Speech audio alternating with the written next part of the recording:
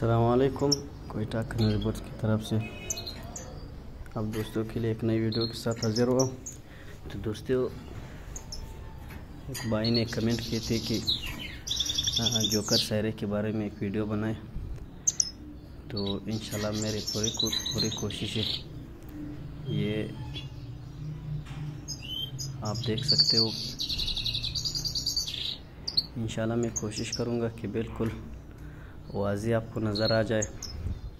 और पहले दोस्तों मेल फीमेल का पहचान तो बहुत इजी है इसमें। जोकर में, जो कि बड़ा हो।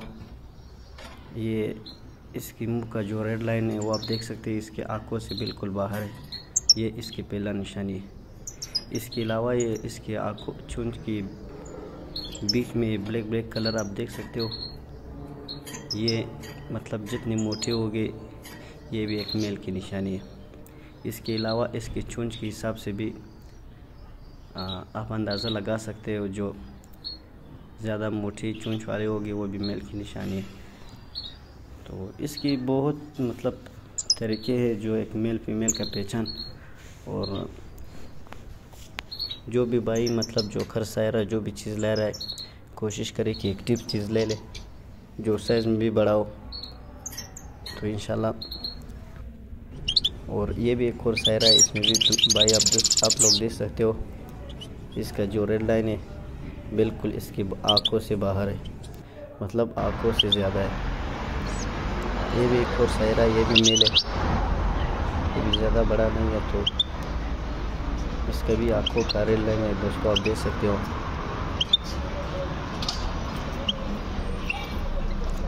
तो दोस्तों, मैं इंशाल्लाह कोशिश करूँगा कि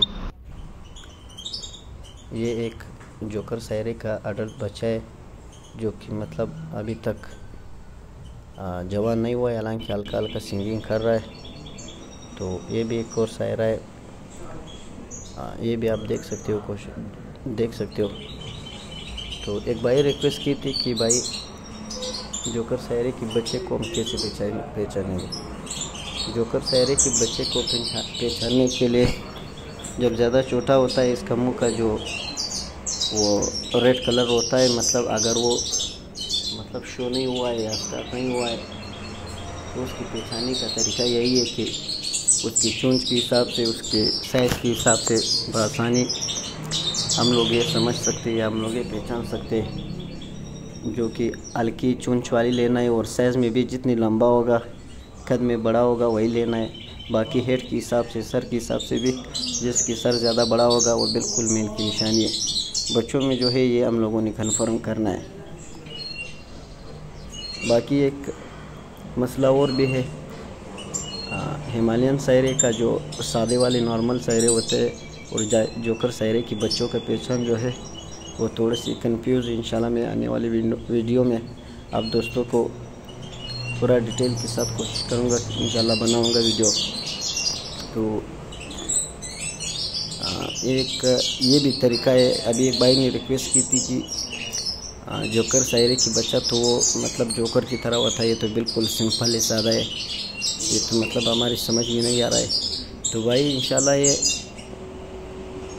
ये जब बच्चा होता है तो बिल्कुल मतलब सादे से होते, उसके बाद जब ये जवान होते तो अपने कलर में आ जाते हैं।